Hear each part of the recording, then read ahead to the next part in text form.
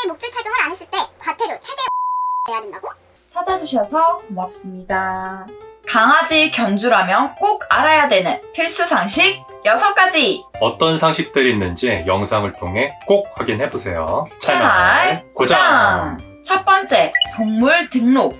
생후 2개월령 이상 된 반려견은 꼭 동물 등록을 해야 합니다. 반려견과 함께 가까운 동물 등록 대행기관에 방문하여 신청하면 되는데 등록 후 등록 정보가 바뀌면 꼭 변경 신고를 해줘야 합니다. 위반 시 과태료가 있는데 1차 20만원, 2차 40만원, 3차 60만원입니다. 동물 등록 문의는 120 다산 콜센터, 관할구청, 동물보호 관리 시스템에 문의하면 됩니다. 두 번째, 배설물 수거. 외출 시 배변 봉투는 꼭 챙기고 반드시 즉시 수거해야 합니다. 건물 내부 공용 공간과 사람이 눕거나 앉을 수 있는 기구 위의 소변 포함입니다. 위반 시 과태료는 1차 5만원, 2차 7만원, 3차 10만원입니다.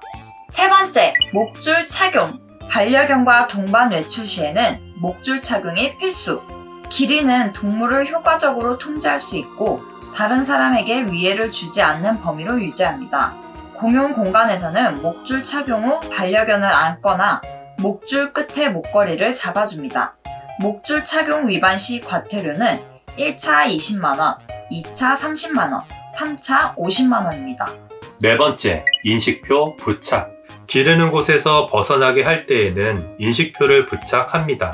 인식표에는 보유자 서명, 연락처, 동물 등록 번호를 기재.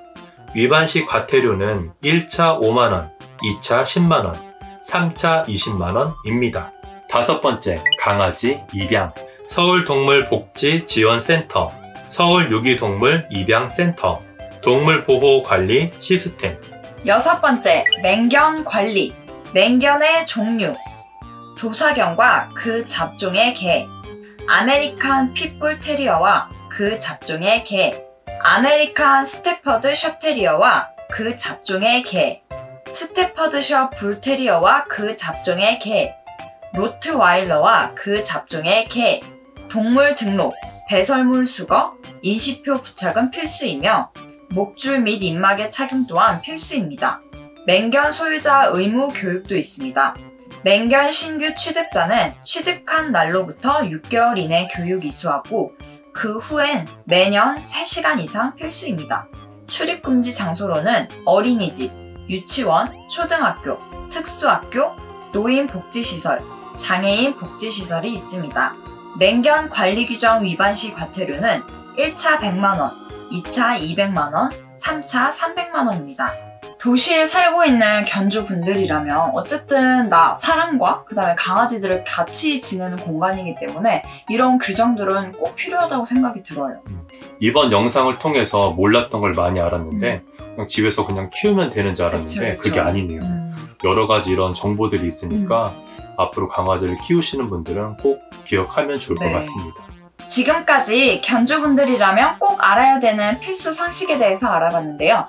다음 시간에도 여러분들께 도움을 줄 수 있는 정보들을 가지고 찾아오겠습니다. 더 많은 정보를 계속 보고 싶다면 구독, 좋아요, 알람 꼭 잊지 마세요. 지금까지 시청해주셔서 고맙습니다.